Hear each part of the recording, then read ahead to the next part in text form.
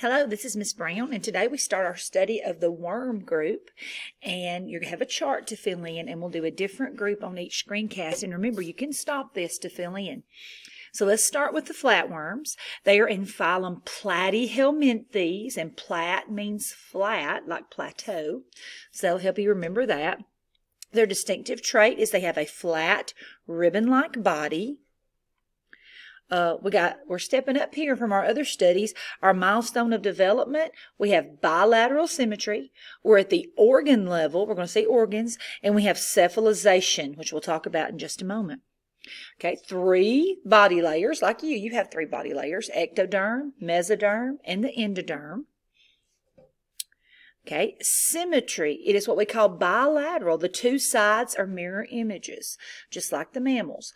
Uh, and this is a sign of a higher order uh, organism, more organized. Okay, body cavity, we're still, still what we call acoelomate in this group. A means without. So all the body construction is all compacted together on the inside. There is no separate coelom. There are no body cavities. Everything's just packed in together. All right, cephalization is present. They have a definite head end and they have a brain and sense organs. All right, nervous system.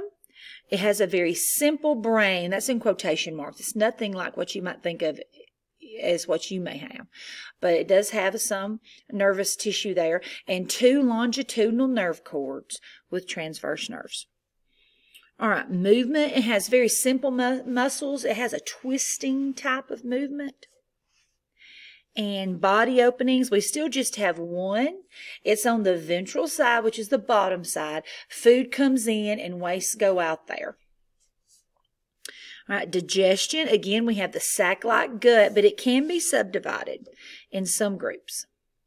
All right, uh, respiration, there are no lungs. It actually just diffuses through the body wall, brings in oxygen and sends out CO2 and extra water just through the body wall.